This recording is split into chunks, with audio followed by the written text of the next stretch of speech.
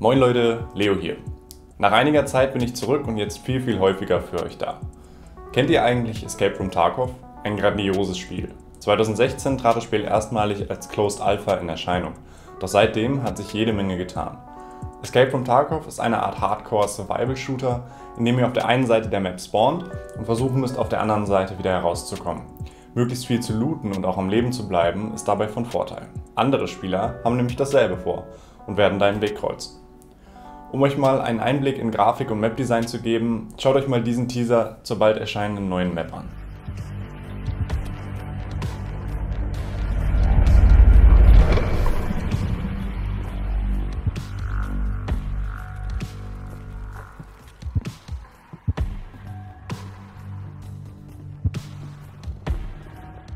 Ist das geil oder was?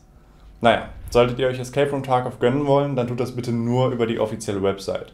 Keykäufer von Drittanbietern können hier recht schnell vom Bannhammer getroffen werden.